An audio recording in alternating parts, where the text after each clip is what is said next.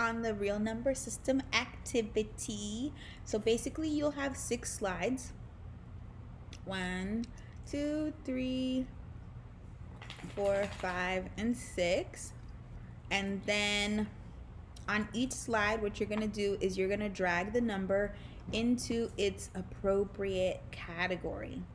Obviously, I'm not doing it right because I can't give you the answers, but I'm showing you how you would drag them.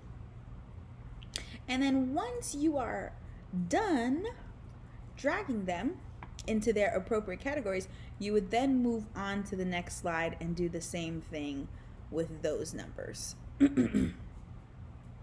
when you're done, let your teacher know, and they will tell you how to submit and how to move on. So remember, you have six slides to do. If you make a mistake on a slide and you accidentally deleted one of the, the numbers, you're just gonna go and press Control Z or Command Z, depending on what kind of laptop you are on, and it'll come back. And you can do that as many times as you want. Good luck!